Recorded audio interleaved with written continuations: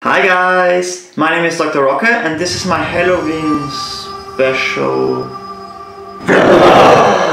Yes, Halloween special.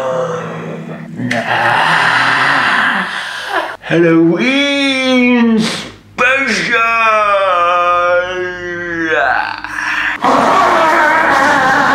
So yes, this is my Halloween special. So now enjoy my special intro. And then I will draw this guy. Oops.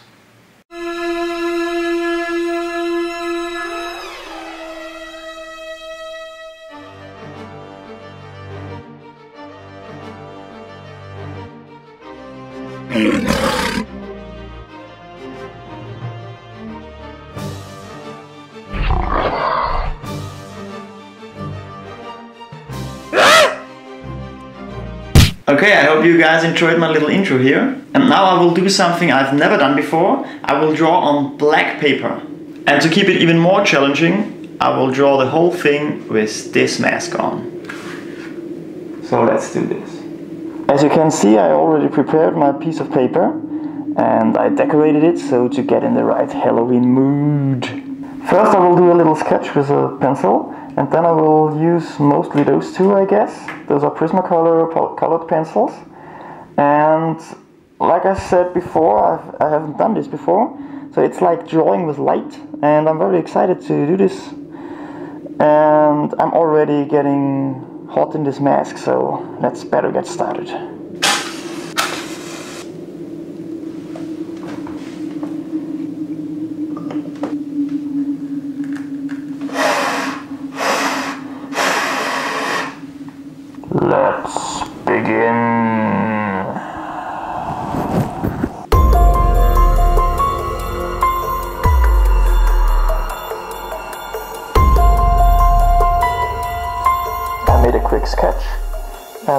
I will go straight in with the white Prismacolor, I guess. It was quite interesting to draw on a black piece of paper because you have to think a bit different. You actually just have to draw the areas inflicted by light. The mask was a bit annoying actually because it felt like wearing blinkers, but I got used to it after a while. And speaking of annoying, it was also a bit annoying to sharpen your pencil every two seconds. It's amazing how much colored pencil you can use in one drawing. Now it's time to shake the jelly pen.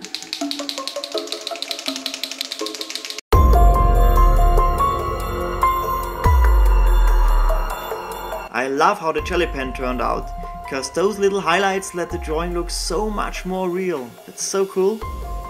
But you really need a good one, because not all of those white pens will work on the wax-based colored pencils.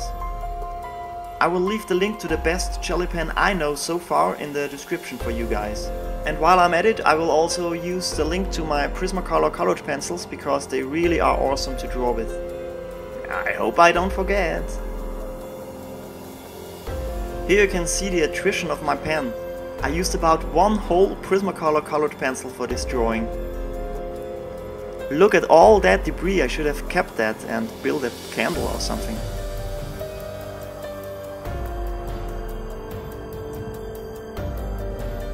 I was very looking forward to do a Halloween special, because I really like the creepy Halloween stuff. And since I did this little stop motion movie you saw in the beginning, I actually made this a few years ago when I got this figurine. I thought Jack Skellington would make a perfect motive for my Halloween drawing. Okay, I got some good news, because first I thought I will need to draw all of this space in black. But look at that, I just need to draw the little lines and I can make a shadow with just doing that. That's amazing. That will save me a lot of time. I will do some shading here in the black space, but it's barely to be seen, so I mostly will do this.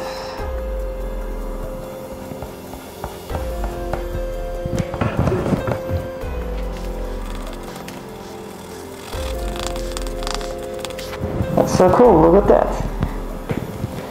Great shading, almost no effort.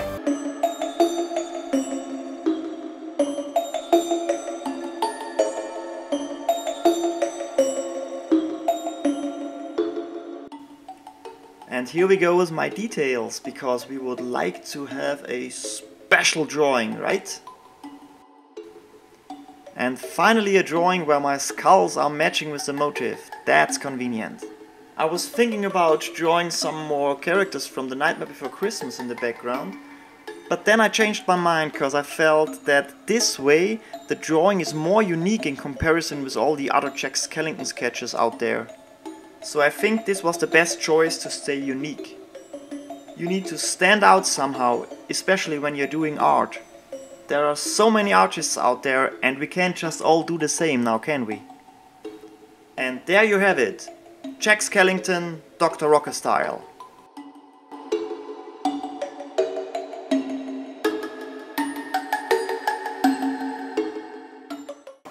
Okay guys, I hope you enjoyed this video and also the outcome of this picture. If you did enjoy it, please drop a like. And also don't forget to subscribe. Okay, but seriously guys, thank you for watching. I think this turned out pretty good. And I would like to wish you all a happy Halloween and see you on my next video. Bye!